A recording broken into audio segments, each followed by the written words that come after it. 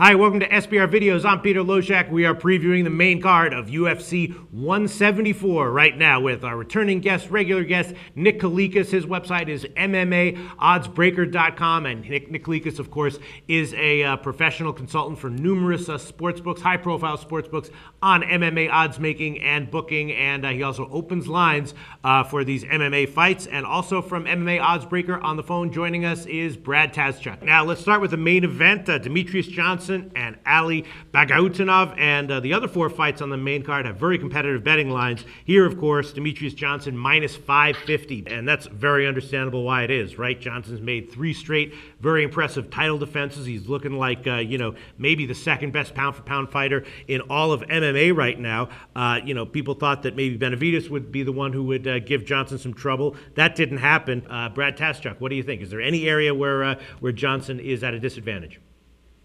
Well, I think in terms of straight punching power, uh, Bagautinov might have a slight advantage, but it's just that it's a very slight advantage. Obviously, we've seen Johnson's really improved his both his technical striking and with that has come along his power. We saw that in the Benavidez fight. So I really think that uh, Ali's outmatched here in pretty much every facet. So if he doesn't take advantage of that punching power and get probably a, a, first round KO. I think right. that uh, Johnson's going to be too much. All right, so at minus 550 or or Ali at plus 425, which side would you take?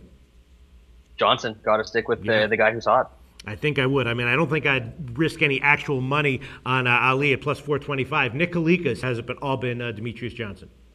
Actually, there's been a little bit of back and forth action, but the line continues to increase a little bit. I opened at minus 425 for DJ, mm-hmm. um, so it has been bet up a little bit. But again, it's kind of been a gradual increase. I mean, there has been some straight action on both sides, but of course, DJ is getting a little bit more parlay love, I'm sure, in most right. spots. All right, but I, am just assuming that uh, that the books are going to be overwhelmed with Johnson uh, Johnson action, and that if he does win, it'll be a small loser for the books. More than likely, I mean, but hopefully yeah. they get some straight action back on Ali. I mean, the weight class is still you know, fairly competitive in most cases. I mean, like you guys said, though, DJ has looked phenomenal. I mean, it's hard to see this guy lose to anybody right now, but right. I still think that Ali has a ton of punching power, and those guys that love the pure knockout chance at the current price, I'm sure we'll get some decent right. big betters coming in just to try to take a stab there. So hopefully there's enough of those guys that come in to balance it out or even have us on DJ. But you're right. If not, the books are probably going to lose small, and there's not much you can do in a situation like that. Yeah, is Ali's only chance uh, catching Johnson with a with a fluky punch, or is there any way that uh, that Johnson's skills might, uh, for for some reason, not live up to uh, what we've seen? Um, yeah, you know what? I, probably hate to say it, but that's the only chance he's going to have right. to land that. Uh, I wouldn't say lucky because Ali has a ton of power, right, right. but he's going to have to land that knockout punch for sure. Other than that, I don't see him uh, getting a decision against DJ. DJ's the better fighter overall. He's a better wrestler. I mean, Ali has decent takedown defense, decent grappling in his own right, but I mean, DJ has better stand up overall. He's faster, he's more athletic, and look, like you said, the competition that he's been through right now. So it's Ali by KO. If you're going to bet it, if you like him at all, that's probably the way to go. Um, but if not, I mean, DJ is. Uh, definitely the side here. All right, uh, Nick Kalikas, aside from Jon Jones, is there anyone you would rate higher than uh, than Demetrious Johnson in terms of pound uh, pound for pound uh, in MMA right now?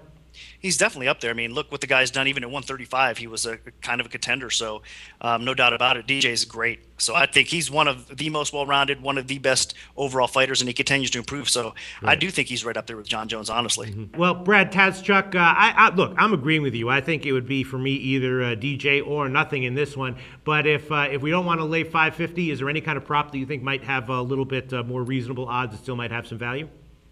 Uh, well, I've been looking at a lot of the the spread props lately, mm-hmm. and Demetrious Johnson is one of the perfect fighters for it mm-hmm. because, especially now that he started to show some finishing instincts. Obviously, he got the submission over John Moraga, he got the knockout over mm-hmm. Joseph Joseph Benavidez. So it used to be that you could count on uh, Demetrious Johnson by decision as a, a, nice prop that would give you some better odds, but mm-hmm. I think you have to look at uh, Johnson minus five and a half points on the, the judges' mm-hmm. cards or nine and a half points, whatever spread they end up deciding on. Right. Uh, I think that's the way to go here. All right, not bad, Brad Tazchuk. I, I like that advice. All right, thanks, guys. I think we uh, have our pick here: Demetrious Johnson minus five fifty.